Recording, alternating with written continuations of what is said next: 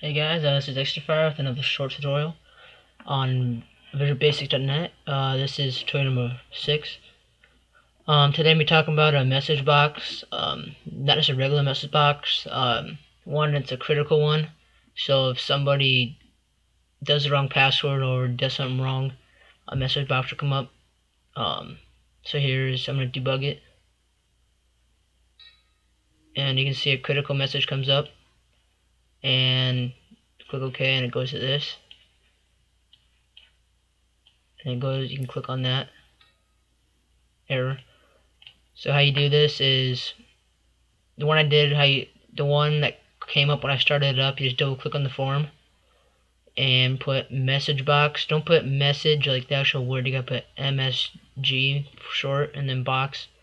Then put um, your your uh, message right here and then comma um well I mean comma over here and then put um message box style dot critical um, comma and then put parentheses whatever you want to say on on the form like critical at the top like this right here.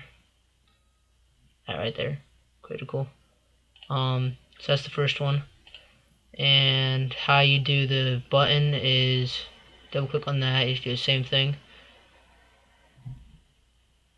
yeah, message box, critical, and same thing. So it's pretty short tutorial. Um, I get all my code from sourcecodedirect.com.